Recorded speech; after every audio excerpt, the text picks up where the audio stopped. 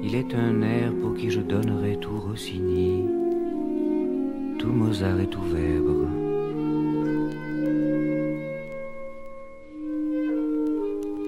Un air très vieux, languissant et funèbre.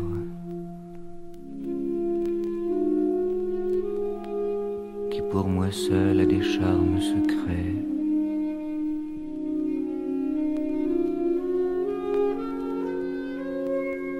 Or, chaque fois que je viens à l'entendre,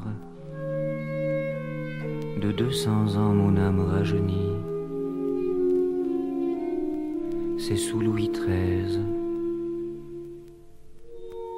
et je crois voir s'étendre un coteau vert que le couchant jaunit. Puis un château de briques à coins de pierre aux vitraux teints de rougeâtre couleur, sein de grands parcs, avec une rivière baignant ses pieds qui coulent entre des fleurs.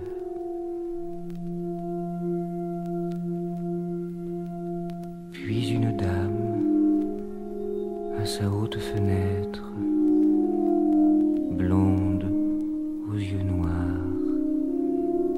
en ces habits anciens